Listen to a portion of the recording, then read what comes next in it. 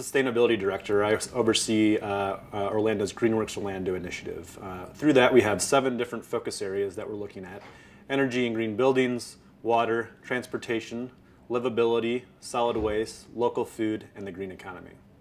And so what this plan does is, is it uh, provides a long-term vision for what we hope to achieve here in Orlando uh, by the year 2040. And so it takes specific numerical goals in terms of what we hope to achieve in terms of renewable energy, uh, diversion of solid waste from landfills and incinerators, water consumption, green jobs, uh, local food provision here in the community, and, and, really begins to incorporate different ways that we can uh, implement programs and projects as we lead and get closer to that year 2040. Food waste is an enormous global issue, and businesses and municipalities are starting to take steps uh, to reduce food waste and uh, create opportunities for increased diversion.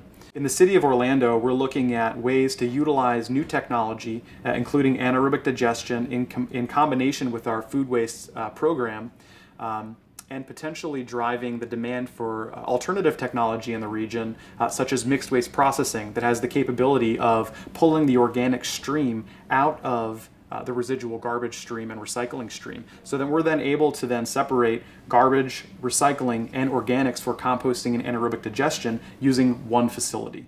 The City of Orlando has been working on ways in which we can expand renewable energy opportunities, like solar power.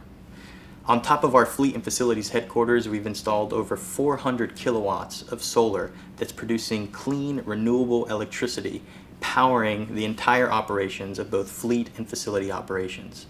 In addition, we've worked on expanding solar to power the See Art Orlando installations around Lake Eola, to where all of the LED lighting throughout the entire night, as those are lit up, are being completely powered off of stored energy from the sun.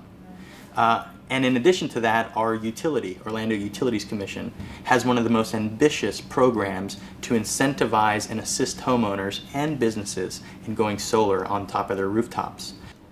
So in addition to the investments of energy efficiency, we feel that our commitment towards shifting our way of fossil fuel and making the switch from the energy that built our world to the energy that's going to shape our future is one of the most important investments that we can be making as a city and as a community.